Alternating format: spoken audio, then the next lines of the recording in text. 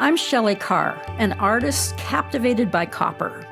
For nearly a decade, it has been my medium of choice. From a distance, the work is seen as reflective with a quilted appearance. Up close, one begins to see the individual images etched into each copper piece.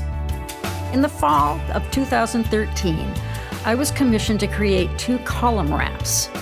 I was to literally wrap two large rectangular load bearing columns with copper.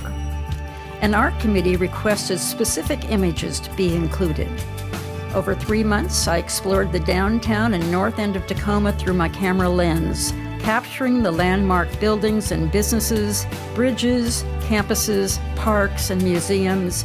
I shot over a thousand photos and chose 400 to be etched into copper. The eight panels tell a story of devoted citizens with the foresight and compassion to preserve the best of the past while envisioning the needs of the future. There is Stadium High School, once a grand hotel threatened to be torn down. The U.S. Courthouse, once Union Station. The Murray Morgan Bridge, a drawbridge saved from demolition.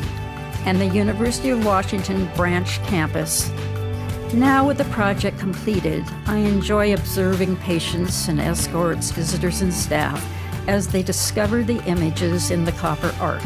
I bring my elderly mother here for her appointments, and we like to arrive a bit early so we can look at the art. She loves sharing memories about some of the images and seeing what we can discover. It makes the hospital visit so much more enjoyable. These copper quilts are created to engage the visitor, awaken memories, and allow the viewer to find their own story and discover places not yet visited.